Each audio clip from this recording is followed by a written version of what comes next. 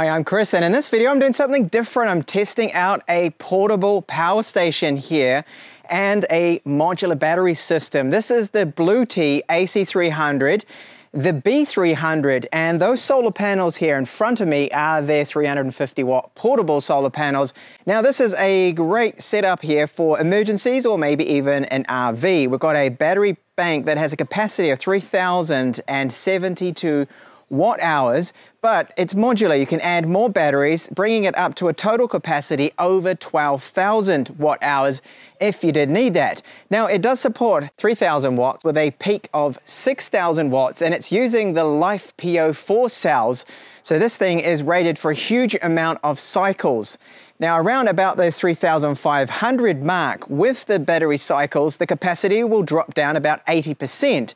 And then around 6000 cycles, that capacity will be about 50%. So that's a huge long life battery cell here that it does use in these modular designs here.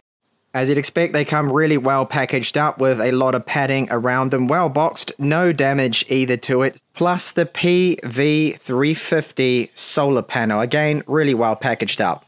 In the box, you will find our AC300 portable power station user guide. We have a little certificate there that is telling us that it's passed quality control, warranty card, and this right here. They are part of the LAAF program, which is Light and African Family. And it's a, just a little award there just to let you know that you've helped out with that with your purchase, of course, of this. For bundled cables that are included, we do have our AC cable, car charging cable, and then a solar cable too.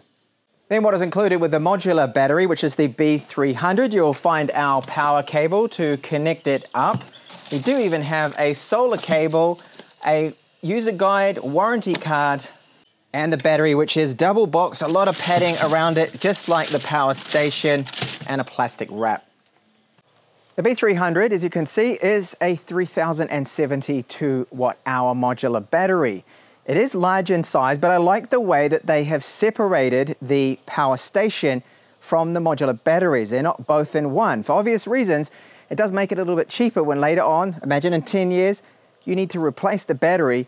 We don't need to replace the whole unit, the power station that is, just the battery. The B300 modular battery has its own power button right here. You've got a power button there to turn DC on, a battery indicator with some little LEDs behind it, LEDs. And then we've got a Type A 18 watt port here, a USB Type C up to 100 watts supporting power delivery, a 12 volt DC 10 amp port, then on the right side, the connections for our battery. So there are two of them here. Of course, modular design, you can keep hooking up more batteries to this. Very solid looking port, and I'll show you the connector of it in just a minute. And here we do have on the left side our DC input. So we have the solar input right here. So that is from 12 to 60 volts DC, 10 amps. And then here a DC plug, which is 58.8 volts DC, 8 amps.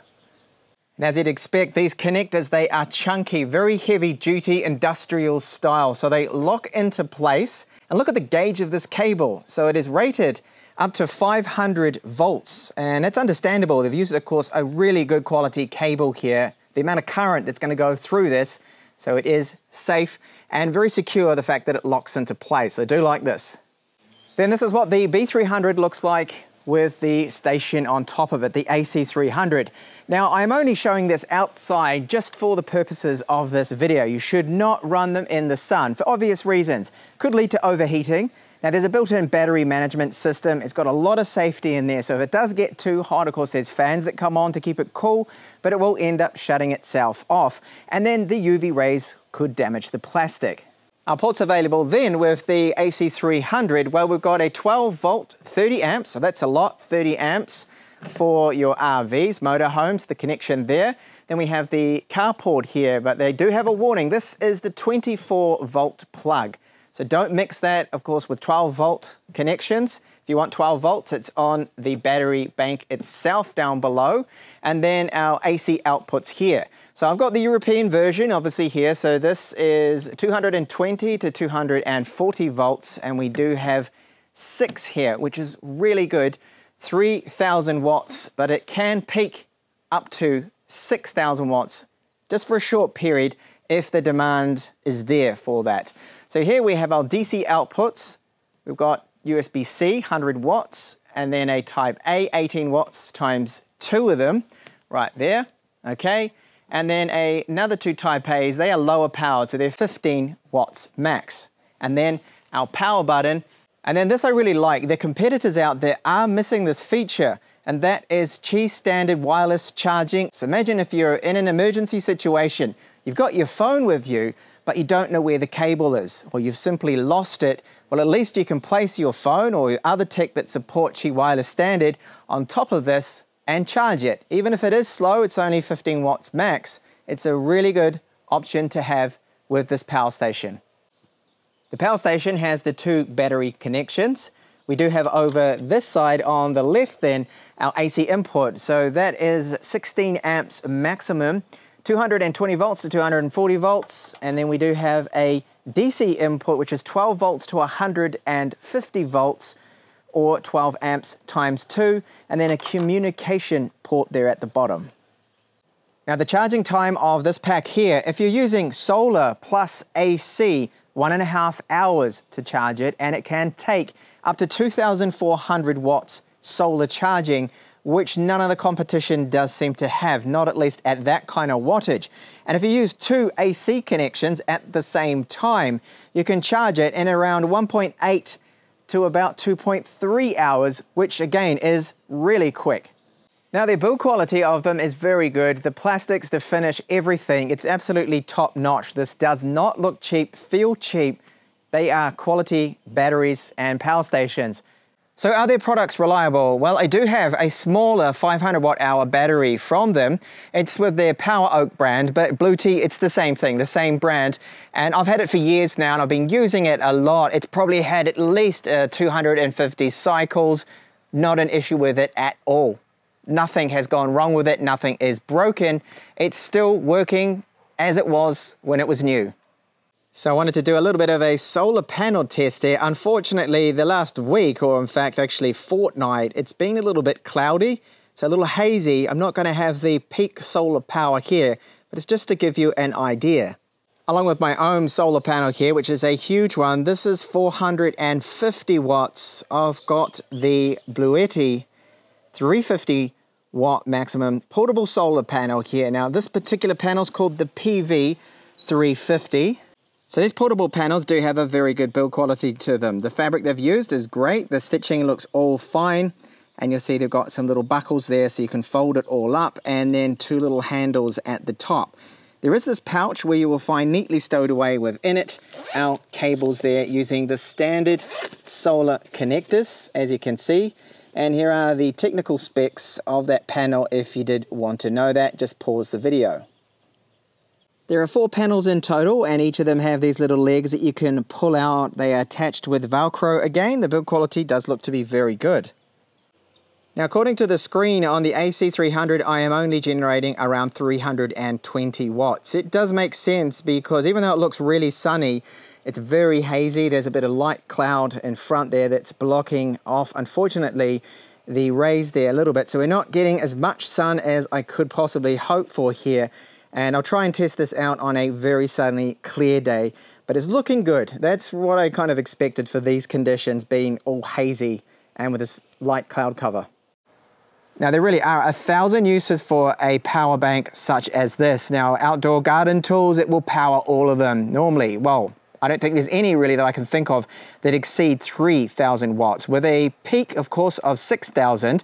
So I could run multiple power tools at the same time. But I'm going to give it a quick little test here in the garden.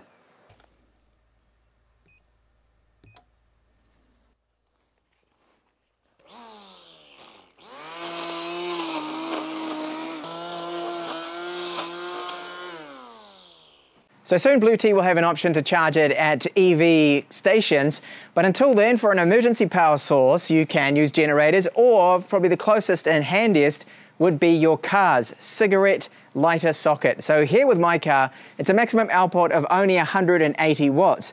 But let's have a look at the charging rate now. Now note, you can connect it up to the power station or the modular battery. So it is only just charging at over 100 watts, so this is a very slow rate, of course, compared to AC. But if you needed to charge the modular battery there and you were in emergency situations, it's at least an option that we do have. Now a touch screen. So it is a color screen as you can see and of course inside uh, it's a little clearer now here but you can still make it out in direct sunlight. So we've got our options here to turn the DC on, AC on and off. You can see the load here, the grid. So it is currently charging from the grid. I don't have any solar panels plugged in otherwise that would show up. DC load. Now I'll just flick on something I've got connected to it and you'll see straight away that it's pulling now almost 2000 watts. And I did see the lights flicker, so it looks like it is taking from the grid as well and not touching those batteries yet. Now it can work as a UPS too. You've got options for that, which I'll show you now. So under settings, you can see we've got language, You've got the voltage options here with the European version that I've got. You can set it to either to 20 to 30 or to 40, the frequency, so 50 hertz or 60 hertz. Your DC1 input, solar panels or other and the DC2 input, you can select that. We've got a buzzer settings, eco, you can turn it on to eco mode, working mode, so standard uninterrupted power supply UPS. You've got timed control, uh, the solar panel priority, PV priority, or customize UPS2 there. So you can select what you want. Uh, the max grid input current, you're able to control that too as well. And you'll see here that we do have a parallel enable if you want for PV. Bluetooth, Bluetooth state, wireless, and that's to do with the connection with the application and the battery station itself. Touch sound, brightness control here, sleep time settings. Now there is a fan in it that is cooling it down. Now when it's under load, that is load charging or load when it's discharging, you do hear that fan and I will give you a sample of it later on. It really depends on the load how loud it will be. So just go back home here, you can see some data. So if you want to look at the inverter and charger info, you can have a look there and see, okay, I want to see the grid input and it will give me the stats on that. So it's currently just over 200 volts. You can see pulling over 200 watts and the hertz is close to 50 there. Pretty standard DC output and the solar information there too. If you did need that, it's all in here. So plenty of information. You've got battery information too. If you connect up more cells, they will show in here. I only have the one battery module. Alarm history, so I haven't had any alarms. I haven't been able to trigger it just yet, but I'll see if I can later.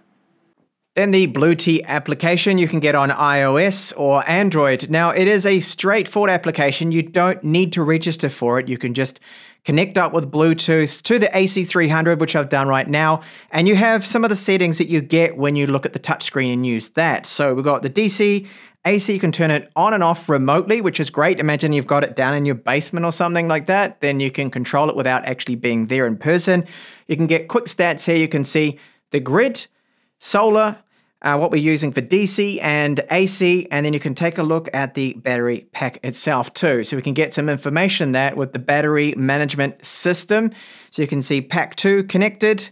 It's telling me there that it's uh, discharging, and if you've got other packs connected up, then you would see those details. So it is a straightforward, simple, but practical application.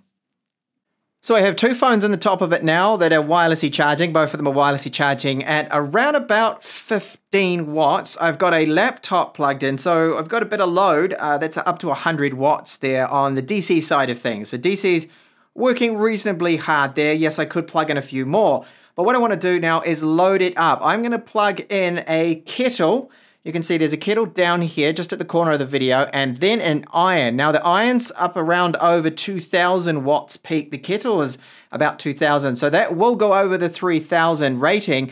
I just wanted to see how long will it allow me to peak over the 3000 watts. So I have the kettle on that is boiling. That's now an AC load of 2000 watts. I have the iron going and let's turn on the hairdryer maximum setting.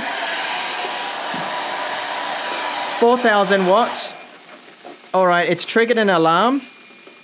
And there we go. It has cut that out straight away. It's just cut everything off. And that was only around 4,000 watts beeping at me to tell me inverter overload protection, overload warning. Okay, so that's good that it's got that built-in safety.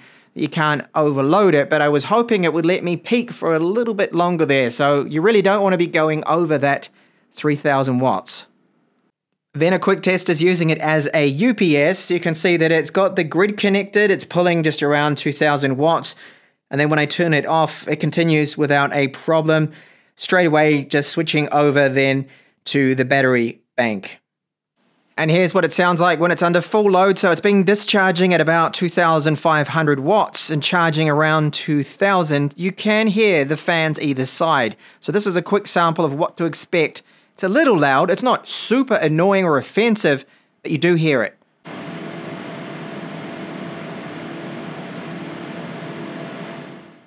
So overall, this is a very versatile system here that Bluetti has. I do like the AC300, the fact that it's separate, the power station from the batteries, and it's a modular design.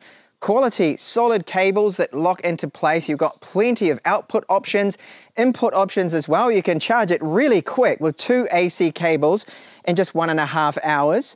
You can charge it, of course, via DC uh, with your car. You've got solar up to 2,400 watts, which is pretty incredible. And it's going to be great for emergency situations. There's an energy, energy crisis, you have power cuts. Well, you could run your fridge for five hours with just the single battery bank here to stop the food going off, your freezer, whatever. You could run a washing machine for almost about three hours with this at around 500 watts. The uses of it are endless. And of course, if you do go for the maximum capacity, you could even connect up with their home system, your entire house to run off this particular system here. That's the flexibility that it does have. I love the fact that it has the two Qi wireless charging pads at the top of it. Other brands don't even opt for this. And I know, yes, you could plug one in, of course, but as I pointed out, imagine you lost your cables, you're in an emergency situation, but you've happen to have this here with you, at least you can charge your phone, make an emergency call or whatever, you're going to be up and running when you don't have a cable. Flexibility of it is great. It can handle surges up to 6,000 watts if need be. If you're plugging in a couple of appliances and there's that extra load that's going to go through, then of course um, you will hear the fans come on too as well, which is one of the downsides of these, that when you put it under those high loads, it has to cool down the internals. It's got plenty of safety built into it, so battery, battery, battery management system, the application. Overall, it is a really solid package here from Bluetti, the AC300 with their solar panels as well. If you were going to go camping, or even though it's quite big, or you're in an RV kind of setup, you've got a motorhome, it's another option you do have is you could get these solar panels here, put them up, charge up the modular battery, and you're probably good for camping in an RV or something like that, your motorhome all night, and then you're ready to go the next day. Or you might have one of these solar panels on the roof, and then you're good to go. So thank you so much for watching my video here of the Blue Bluetti AC300 system, the B300, the PV350, and many thanks to Blue Bluetti for sending out all this gear here to me so I could review it and cover it here.